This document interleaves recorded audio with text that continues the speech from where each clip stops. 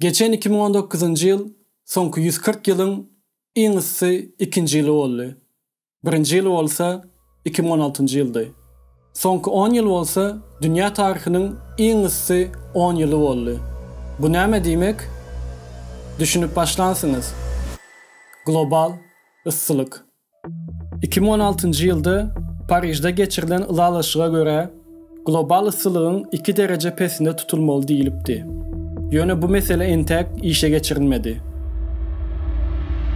Geçen 2019 yılın Iyul ayı dünya tarihinin iň ıssy ayı oldu. Sonku 100 yılda dünyanın ısılığı 1 derece götürüldü. Bunun yarım derecesi olsa 30 yılda götürüldü. Yani 70 yılda yarım derece, galan yarımı bolsa 30 yılın içinde götürüldü. Bu, goğulun alamatı değil. Bir derece bilen hiç sadan bolmaz deyip bilersiniz. Yöne diýmeden öň 5 ýyl mundan öň bir derejeň aşaňdady. Häzir bolsa bir derejeň üstünde. Muňa aňsat düşünmeňiz üçin adam bedeniniň ıssylygy 37 derece aralygyndadyr. Bir ýa-da 2 derece köpelende adamda gyzgynlyk dörep ýagdaýsyz bolar. Tebigatda muňa mysal getirjek bolsak, Australiýadaky ýangynlary aýdyp bileris.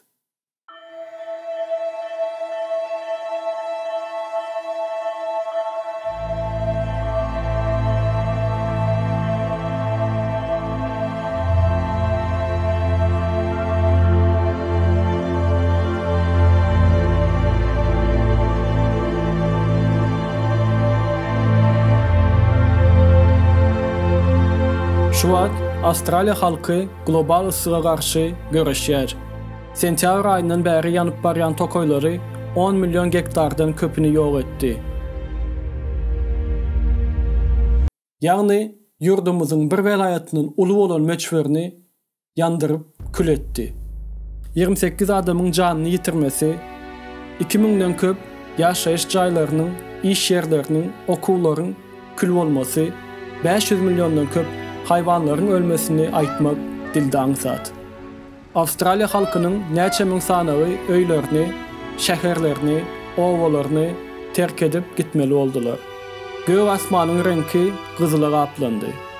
Käbir ýerlerde ýanglynyň beýikligi 70 metr geçdi. Ýatladığım bir taraplyk binasy 75 metr beýikligindedir. Öňki durmuş dolu şäherlerden diňe kül aldy. Ýaşyl tokoýlardan diňe korkunç şekil kaldı. Kinguru adasının üçte biri yok bollu.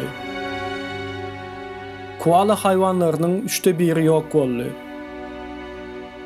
Ve şu an yangının käbir bolyan yerinde yağış yağmana başladı. Ve bu sebepten adamların beğenişine seredin.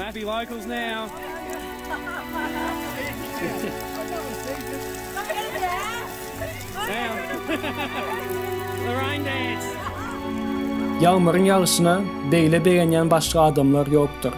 Yöne gıynansak da yağış Avustralya'nın hem yerinde yağan ok ve şu an yüzden köp aktif yan yan yerler var. Avustralya'nın ulu şehirlerinde adamların köpüsü yüzünde maske bilen yürüyerler. Yakın yurtlarda olsa dağların depelerinde garın renkini ütkenini aittiyalar.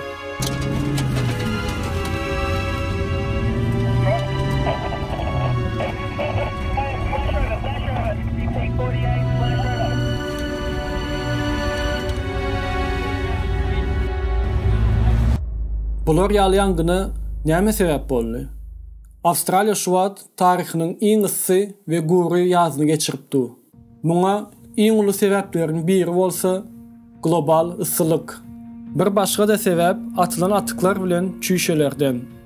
Çüýşeleriň köpüsi gury issy howada günüň aşagynda galyp otlaryň ýanmasyna sebäp bolýar. Görüşüňiz ýaly köp zatdy adamlaryň etýän ýalňyşlyklary ulu dertleri döredip bilýär. Edir global ıssylygyň boluşy ýaly. Gen galmaň, oňa da adamzat günäkär. Günümizde kömür turşu gazını çıkaran fabrika ve zavodlar yıl geçtikçe köpelýär. Bu da howanyň kirlenip üýtgemesine sebäp bolýar.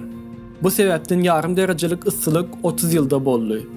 Bu sebäpden 200'e ýakyn ýurdun gatnaşmasynda Parijdaky şertnama kömür turşu gazyny dörediyen fabrika zavodlaryň howamyza çykarýan ziýanly tüsse dumanlaryň barlada tutulması üçin gol çekildi. Gynansak da ütgän zat ýok. Bizim planetamız ýyl geçdigiçe ıssylaşyp barýar we arkasy bilen global ıssylygy getirýär. Global ıssylygyň getirjek zady tebigi belalar. Bu buzlaryň erimesi, denizlerin, okeanlaryň su derejesini göterilmesi, howalaryň guru bolup ýakyjy derejede ıssy bolmasy aklymyza gelip bilmejek tebigi belalary getirer. Global ıssylyk.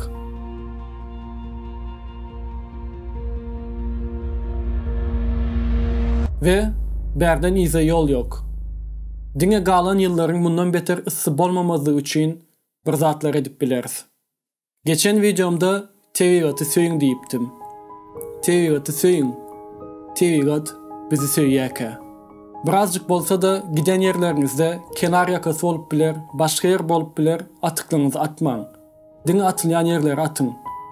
Eger biz etmesek bu zatları, çağlarımız näl dünyada yaşar. Avustralya yangını dünyamız ve adamzad üçün ulu bir sapak golandır. Ve şular ýaly hadisaların gaýtalanmamasy üçün ählimiz bir bolup görüşmelidiriz. Häzirki günde de dowam edip duran ýanglynyň sönmesini umid edýärin.